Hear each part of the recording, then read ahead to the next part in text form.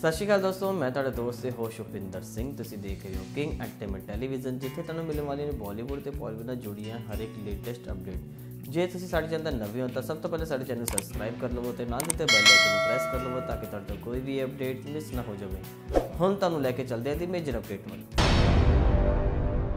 ਇਹ ਅਪਡੇਟ ਤੇ ਕੀ ਹੈ, ਪੰਜਾਬੀ ਸਿੰਗਰ ਹਰਸਿਮਰ ਵੱਲੋਂ ਜਿਹਨੇ ਇੱਕ ਨਵੇਂ ਪੰਜਾਬੀ ਸੌਂਗ ਦੀ ਅਨਾਉਂਸਮੈਂਟ ਕਰ ਦਿੱਤੀ ਹੈ ਜਿਸ ਦਾ ਟਾਈਟਲ ਹੈ ਲਾਹੌਰ। ਤੇ ਹਮ ਸੌਂਗ ਦੀ ਗੱਲ ਦੀ ਗੱਲ ਕਰੀਏ ਇਸ ਨੂੰ ਗਾਇਆ, ਲਿਖਿਆ ਤੇ ਕੰਪੋਜ਼ ਕੀਤਾ ਗਿਆ ਹਰਸਿਮਰ ਵੱਲੋਂ। ਮਿਊਜ਼ਿਕ ਦਿੱਤਾ ਗਿਆ ਹੈ, ਜ਼ਾਕਿਰ ਵੱਲੋਂ ਅਤੇ ਇਸ ਫੀਮੇਲ ਜਿਹੜੀ ਨਜ਼ਰ ਆਉਣਗੇ, ਉਹਨਾਂ ਦੇ ਨਾਲ ਚਾਰਲੀ ਦੱਤਾ ਇਸ ਨੂੰ ਡਾਇਰੈਕਟ ਕੀਤਾ ਗਿਆ ਹੈ, ਓਨਲੀ ਦਾਸ ਵੱਲੋਂ ਅਤੇ ਇਹ ਜੋ ਸੌਂਗ ਹੈ, ਉਹ 1 ਜਨਵਰੀ ਨੂੰ ਮੈਗਾਵਰਸ ਮਿਊਜ਼ਿਕ ਸਟੂਡੀਓਜ਼ ਦੀ ਅਫੀਸ਼ੀਅਲ ਵੀਡੀਓ ਤੇ ਰਿਲੀਜ਼ ਹਰ ਸਿੰਬਲ ਦੇ 99 ਪੰਜਾਬੀ Song ਲਾਹੌਰ ਦਾ ਸਾਨੂੰ ਕਮੈਂਟ ਸੈਕਸ਼ਨ ਵਿੱਚ ਜ਼ਰੂਰ ਦੱਸਿਓ ਸੋ ਕਿਵੇਂ ਲੱਗੀ ਤੁਹਾਨੂੰ ਸਾਡੀ ਅਪਡੇਟ ਤੁਸੀਂ ਲਾਈਕ ਸ਼ੇਅਰ ਕਮੈਂਟ ਕਰਕੇ ਜ਼ਰੂਰ ਦੱਸਿਓ ਅਤੇ ਜੇ ਤੁਸੀਂ ਸਿੰਗਰ ਰਾਈਟਰ ਐਕਟਰ ਜਾਂ ਫਿਲਮ ਲਿਸਨਰ ਜੁੜੇ ਹੋਏ ਹੋ ਅਤੇ ਤੁਸੀਂ ਵੀ ਆਪਣੀ ਵੀਡੀਓ ਕਿੰਗ ਐਂਟਰਟੇਨਮੈਂਟ ਟੈਲੀਵਿਜ਼ਨ ਤੋਂ ਕਰਵਾਉਣਾ ਚਾਹੁੰਦੇ ਹੋ ਤਾਂ ਤੁਸੀਂ ਡਿਸਕ੍ਰਿਪਸ਼ਨ ਵਿੱਚ ਨੰਬਰ 'ਤੇ ਕਾਲ ਕਰ ਸਕਦੇ ਹੋ ਤੇ ਨਾ ਦੇਣਾ ਸਾਡੇ ਚੈਨਲ ਸਬਸਕ੍ਰਾइब कर लो ताकि आपको कोई भी अपडेट मिस ना हो जाए thanks for watching